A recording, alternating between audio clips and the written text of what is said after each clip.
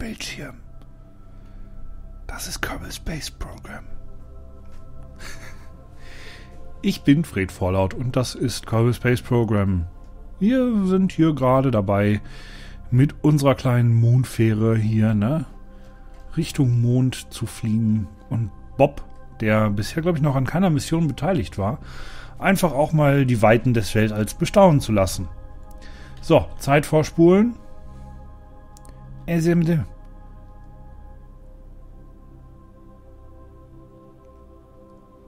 Bis, zur, äh, bis zum Eintritt in die Mondeinflusssphäre. Und dann müssen wir gucken, dass wir halt an einem anderen Ort landen als die beiden anderen Chaoten. Also als, äh, nee, das sind, war beides mal Jebediah, glaube ich, ne? So, erstmal führen wir da ein Bremsmanöver durch. Um uns einen angenehmen Motorbit zu sichern. So, so, so, so, so, so. Da ist die Marke. So, falls sich jemand wundert, warum das gerade so abrupt gestoppt hat, ne, das liegt, wenn ich, liegt daran, dass ich die Zeit beschleunige, dann werden Rotationen und so nicht mehr berechnet. Das ist ein kleiner Trick. Das ist natürlich im richtigen Leben anders. So. Uah, nicht so schnell.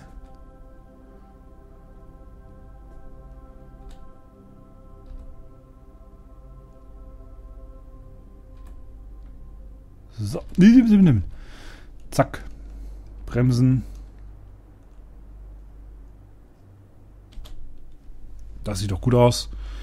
Das gleiche machen wir auch noch. Ähm, oh, warte mal, wir können ruhig ein bisschen näher ranbremsen. So. An dieser Stelle machen wir das gleiche nochmal. Den hier legen wir raus. Dann gehen wir mal kurz auf die andere Seite.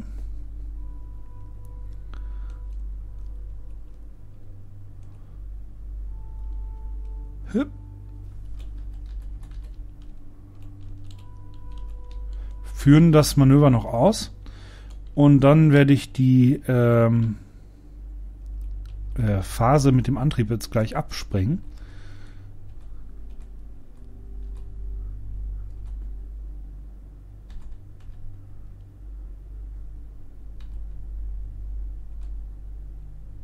So.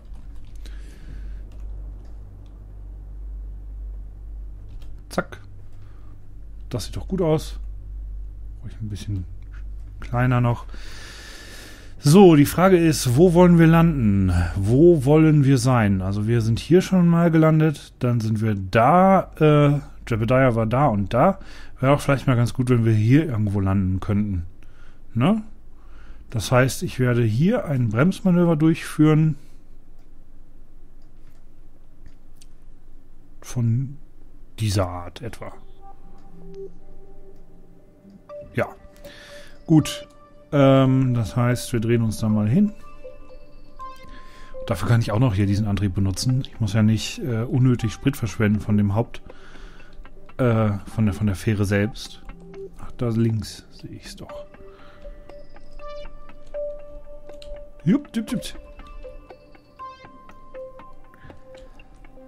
So, sehr schön. 30 Minuten, dann machen wir unser Bremsmanöver, dann wird äh, gebremst.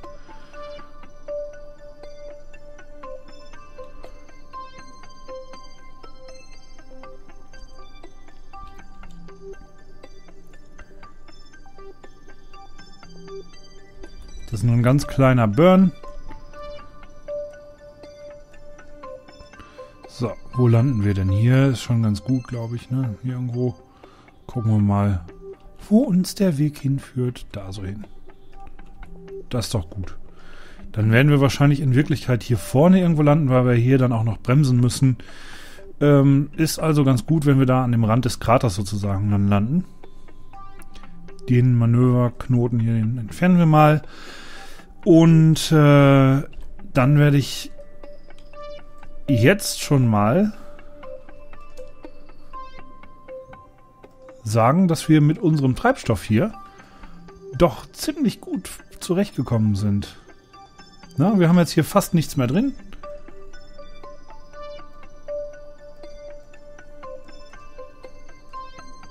Die Tanks sind alle voll, das ist sehr gut. Und die, äh, wie viel sind das? 84, da 85, die schmeißen wir jetzt ab. Ich schmeiße die sogar jetzt direkt ab, weil wir gerade noch ähm, das Triebwerk hier, ne? So. Wir bewegen uns in diese Richtung. Wenn ich das Triebwerk jetzt absprenge, dann wird das Triebwerk in die Richtung abgesprengt. Aber unsere Kapsel kriegt auch nochmal einen kleinen Schub in die Richtung. Das heißt, das mache ich jetzt einfach mal mit der Leertaste. Sehr schön. Ach ja, Bob. Alles gut bei dir? Einmal ganz kurz gucken, ob man hier schon irgendwelche Punkte für kriegt. Nee, 6,9, das ist nicht so viel. Reset. So. Jetzt brauchen wir nur die Zeit ein bisschen schneller laufen lassen.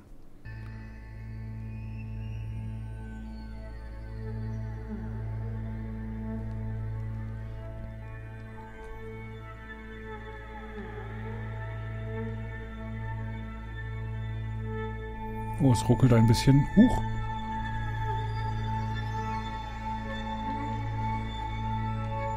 So. Wo ist der Krater, von dem ich geredet habe?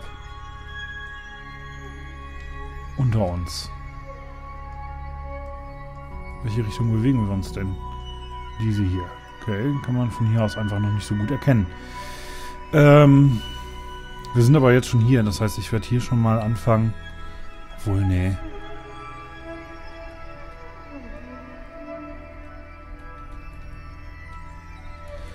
Es wird kein Suicide Burn. Hoffe ich mal.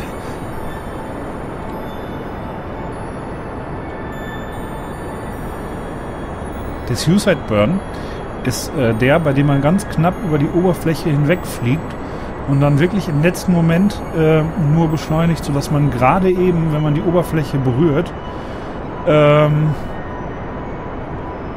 dass man dann gerade eben äh, äh, auf Null kommt. Ne, das ist das Ziel beim Suicide Burn. Ist natürlich auch ein Risiko, weil man ganz leicht einfach zu spät bremsen kann. Und dann ist man tot. Ich habe gerade mal eben ganz kurz äh, schnell gespeichert, falls man das vielleicht nicht mitbekommen hat, mit F5.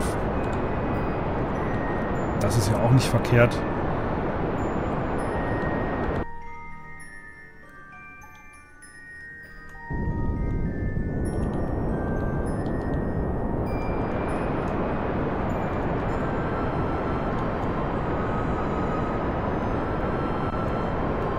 möchte vor allem erstmal die horizontale Geschwindigkeit abbauen. Deswegen bleibe ich jetzt hier, bis der Bremsvektor ungefähr da ist. So ist natürlich auch nicht gut, weil ich dann jetzt gleich einfach gegen die Schwerkraft arbeiten muss. Aber wir haben ja genug Treibstoff mit dabei, denke ich mal. Hm. Ich fahre mal die Stützen aus. Vielleicht noch ein bisschen früh, aber sicher ist sicher. Ich kann gerade nicht einschätzen, wie weit der Boden noch weg ist, weil die Angabe hier, die stimmt ja gar nicht unbedingt. Ja, das ist halt nur die Angabe über normal Null.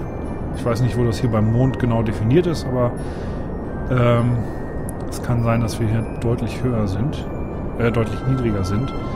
Um das letztlich festzustellen, werde ich äh, einmal in die Innenansicht wechseln. Da kann man das nämlich nachlesen. Da. Das ist die Radarhöhe. So, das ist eigentlich so die Anzeige, die wir brauchen.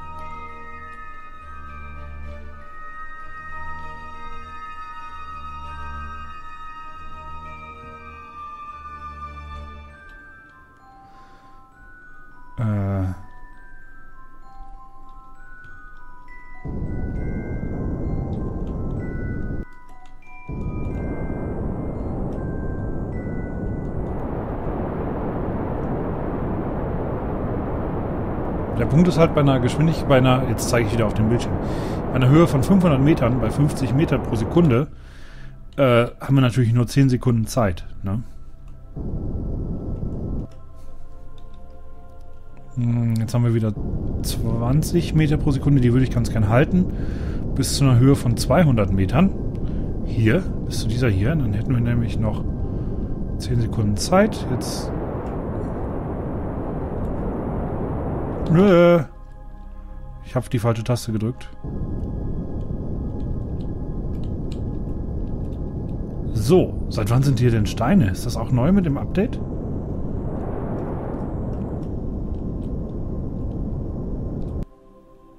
Nee, ich drücke immer C.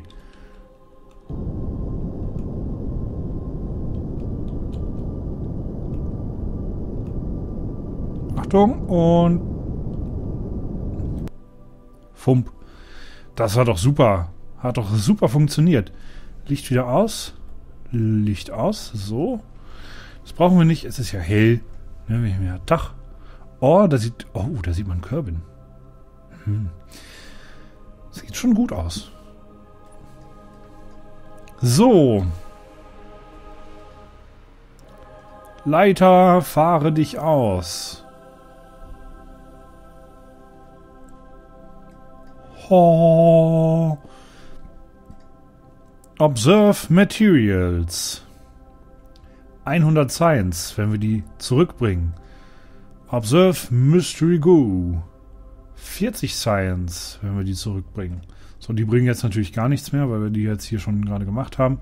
Also das sind die 40 Science, die die anderen auch bringen würden. Reset Experiment, Experiment, Toggle Display, Lock Temperature, 32 Science, Keep Data, hm, dann brauchen wir einen Crew Report. 20 Science. Keep Data. Wir schalten mal unser SAS-System aus. Ähm, und machen einen kleinen Außenspaziergang. Ja. Kletter, kletter, kletter. Hier mal runter, du Nase. Fump. Yeah! Ui! So, dann äh, machst du mal einen kleinen EVA-Report. 32 Science, das ist super. Wir nehmen eine Bodenprobe, 120 Science. Und jetzt kommt natürlich das Wichtigste.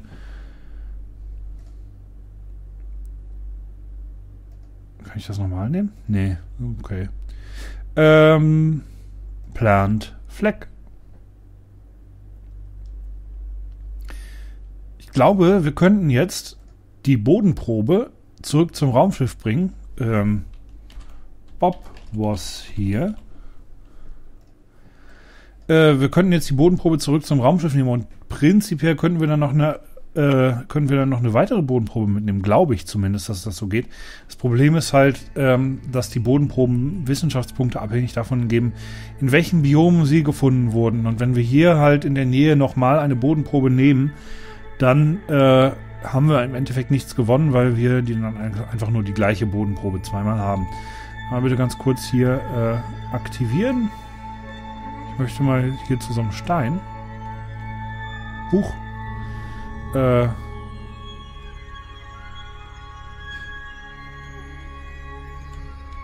so. Bill freut sich auch hier zu sein, ne? So, was ist denn das hier für ein Stein? Die gab es doch früher nicht. Äh, ich glaube, ich gehe mal lieber weg.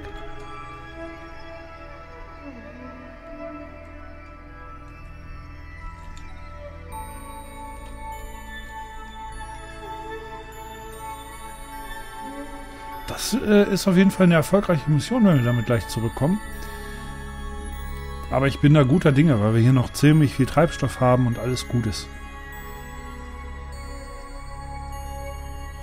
So, kann man da dran springen? Ja.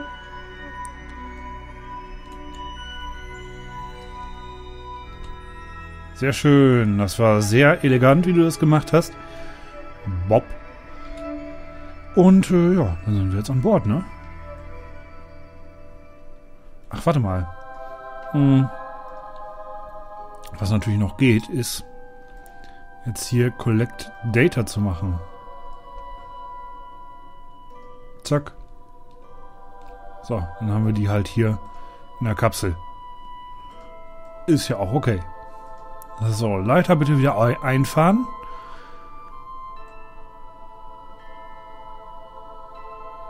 eine praktische Leiter. So eine bräuchte ich auch. Wobei, ich benutze, wo soll ich hin? Ist ja auch egal. Ähm, wir sind auf jeden Fall hier ganz. Oh, das ist gut. Das ist sehr gut. Hm. Ja, dann würde ich sagen, dann fliegen wir wieder weg, ne?